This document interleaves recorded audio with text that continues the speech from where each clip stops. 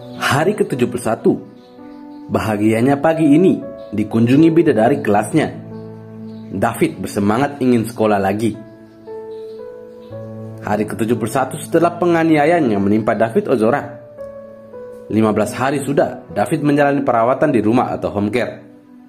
Pagi ini jadwal David untuk melakukan kontrol kembali ke rumah sakit Mayapada David lebih bersemangat menjalani harinya lantaran pagi ini remaja 17 tahun itu lebih dulu dikunjungi teman-teman kelasnya.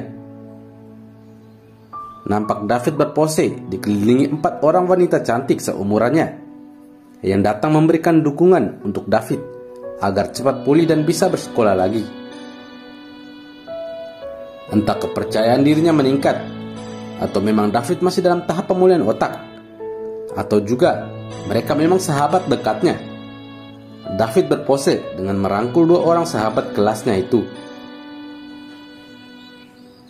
Terlepas dari itu, ini merupakan salah satu cara agar David makin bersemangat menjalani terapinya.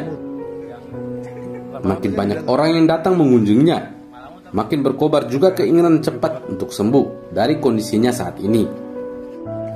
Hari ini juga merupakan jadwal kontrol David ke rumah sakit Mayapada Hal itu diunggah Ejo di instastory pribadinya siang ini. Menitipkan dua pesan untuk bekal kehidupannya ke depan.